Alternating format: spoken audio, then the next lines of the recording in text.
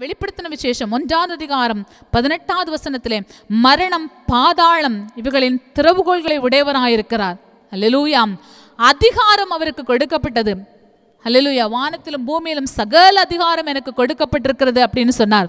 அப்போ உங்களுடைய குடும்பத்தின் மேலே அவருக்கு அதிகாரம் இல்லையா? உங்கள் மேலே உங்க அவருக்கு அதிகாரம் இல்லையா? உங்களுக்கு புட்டிருக்கிற அந்த நன்மையின் மேலே அவருக்கு அதிகாரம் இல்லையா? அவர் சொல்லாகும் அவர் கட்டளையிட நிற்கும். அல்லேலூயா மரணம் பாதாளத்தினுடைய திறவுகோள்களை அவர் உடையவராக இருக்கிறார். கொஞ்ச காலம் பிசாசின் கையில் இருந்தது. அவர் மறித்து உயிரோடு வந்த அந்த திறவுகோள்களை உங்களுக்காக எனக்காக அவர் வாங்கி கொண்டார். அல்லேலூயா எந்த பிசாசும் பயமுறுத்த முடியாது. நீ ஏசுக்கிட்ட போயிட்டனா?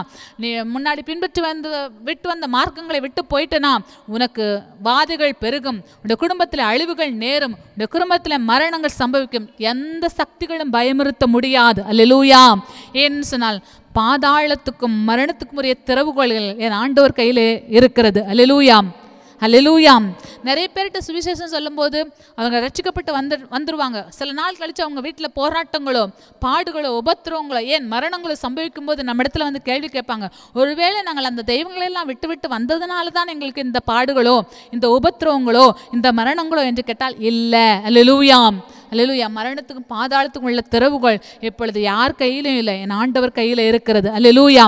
அதனால எந்த மருத்துவமும் எந்த டாக்டர்ஸும் உங்களுடைய மரண நாளை குறிக்க முடியாது. அல்லலுயா. ஒருவேளை உங்களுடைய நோயுடைய வீரியத்தை வைத்து ஒருவேளை அவங்க கால்குலேட் பண்ண கூடும்.